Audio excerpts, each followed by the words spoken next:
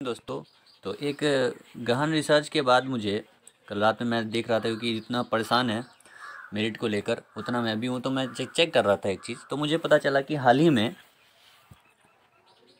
S S का जो आपका रिमेडिकल जो ख़त्म हुआ है, उससे पहले ना C P O two thousand eighteen का ख़त्म हो गया। है ना? C P O two thousand eighteen का रिमेडिकल मेडिकल सब ख़त्म हो गया, उसकी मेरिट आनी बाकी है। अब देखिए, बात को मैं समझाना चाहता हूँ आपसे। सबसे पहली बात ये आपको समझाना चाहता हूँ, मेरिट लिस्ट के बारे में एक्सपेक्टेड बताना चाहता हूँ, जो कि मुझे लग रहा है कि उस समय तक आ जाएगा डेफिनेटली आएगा। अभी मेन बात यह है कि उसका रिमेडिकल ख़त्म हो गया, उसमें मात्र 2000 के आसपास पोस्ट हैं। सोचिए 2000 के सीट हैं, उसको मेरिट बनाने में तो ज़्यादा समय लगेगा नहीं। फिर भी एक तारीख के कैलेंडर में उसका नाम नहीं दिया। है ना? एक तारीख कैलेंडर में उसका नाम नहीं दिया। जीडी के लिए भी एक तारीख वाला जो रिज़ल्ट का कैलेंडर था, उसमें नाम नहीं दिया। आप मेरी बातों को समझिए। तो कहने का और दूसरी बात कि मैंने सीपीओ का नाम क्यों लिया? क्योंकि अब इसकी चर्चा हो रही है कि इसकी मेरिट लिस्ट आने वाली है है ना? इसकी मेरिट लिस्ट आने वाली है एज सुन एज पॉसिबल तो जब पता है कि जो कि ये सीधी भर्ती एसएससी की नहीं है, ये कंबाइंड भर्ती है। कुछ पार्ट एसएससी करवाया है और कुछ पार्ट सीएपीएफ करवाती है। ठीक है तो इसलिए परफेक्ट बताना मुश्किल होता है कि क्या कैसे होगा। अब मेन बात है, मुद्दे पे आते हैं। यहाँ पे आप देख पा रहे हैं कि मैंने एक अपना कम्युनिटी में इस पोस्ट को सुबह में डाला था। इसको देखिए, इसमें साफ़ साफ़ लिखा था मैंने कि 20 तारीख को जेई का रिज़ल्ट है, जैसा कि आप जानते हैं। ठीक है?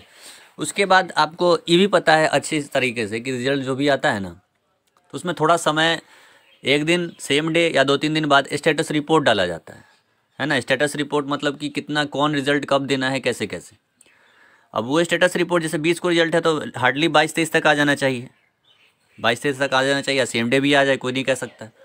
तो उस रिपोर्ट में ऐसा ज़रूरी नहीं है कि जीडी का लिखा हो, और ऐसा ज़रूरी भी नहीं है कि नहीं लिखा हो, लेकिन ज़्यादा चांसेस है कि जीडी का लिखा होगा, नहीं रहेगा कि डेट हाँ हमको आपको, इस तारीख को आपको मेरिट लिस्ट दे रहे हैं।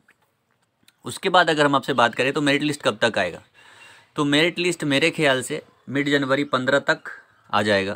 प्लस माइनस थोड़ा मोड़ा, दो तीन दिन, पाँच दिन कोई फ़र्क नहीं पड़ता है। लेकिन एक हिसाब से कि प्लस आप पंद्रह तारीख तक लेके चलिए कि उससे पहले संभावना बनती है कि मेरिट लिस्ट दे दी जाए। अब ऐसा क्यों? अब इसको भी कहने का कारण क्यों है? क्योंकि आपको जैसा कि पता है, आपके भी कोई भाई होंगे या पड़ोसी होंगे, वो पैरामिलिट्री में हो चाहे आईटीबीपी में हो चाहे बीएसएफ में हो चाहे सीआरपीएफ में हो तो उनसे आप पूछेंगे ना तो वो आपको एक ही बात बताएँगे कि मार्च अप्रैल से सबका स्टार्ट होने वाला है। है ना? मार्च अप्रैल से सबका स्टार्ट होने वाला है, ज्वाइनिंग, चाहे जो भी हो। अब सोचिए कि जो भी होगा, उससे पंद्रह दिन पहले तो उसे क्वारंटीन के लिए उसको बुलाया जाएगा। है ना? पंद्रह दिन पहले तो उसको क्वारंटीन के लिए बुलाया जाएगा तो और भी समय लगेगा। तो इसीलिए जब सी को सी के आदमी जो भी हैं, उनको लग रहा है कि मार्च, अप्रैल से सारा स्टार्ट हो जाएगा तो उससे पहले दो महीने की तैयारी भी तो करनी पड़ेगी इनको। क्योंकि ऐसा तो नहीं है कि रिज़ल्ट दे दिया और कल होके ज्वाइनिंग लेटर घर पे आ जाए। समय लगता है, क्योंकि इतना आसान तो है नहीं। तो अब मेरिट लिस्ट मान लो जनवरी में आएगी फिर फरवरी में ले लो कि उसको ज्वाइनिंग आपकी होना कॉल लेटर आने स्टार्ट हो जाएँगे। अब कॉल लेटर पे भी पहुँचते पहुँचते ही तो नहीं लिखा होता है कि अभी के अभी पहुंचिए। कल के कल पहुंचिए।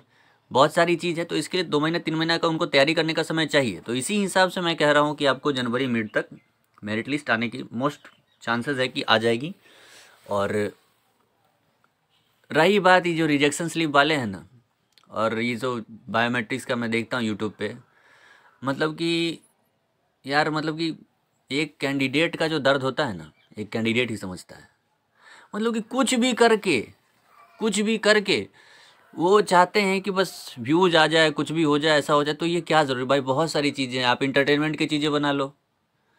नाच गाना वाला चीज़ें लगा दो यूट्यूब पे, ज़्यादा चलेगा। एस एस से तो ज़्यादा व्यू आएगा ना।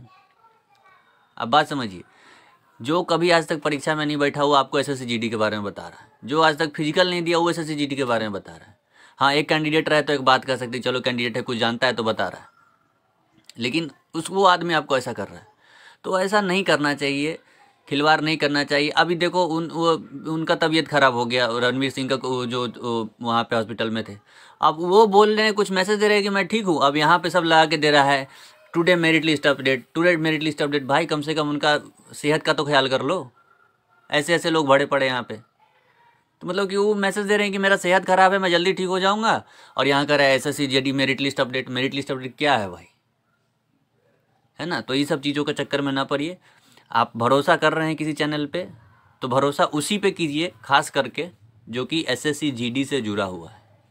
या तो कैंडिडेट के तौर पे जुड़ा हुआ है, या तो डिपार्टमेंट का आदमी है। उससे आप कीजिए। इसके लिए नहीं कहता हूँ कि आप हमारी ही चैनल देखिए। हो सकता है हम गलत हो, अगले आदमी सही हो। है ना? तो ये सब बहुत बड़ी बातें हैं। इन सब चीज़ों पर ध्यान दीजिए। मेरिट लिस्ट आपका जल्द आ जाएगा। अपने आप को बचा के रखिए। पॉजिटिव रहिए और रहिए।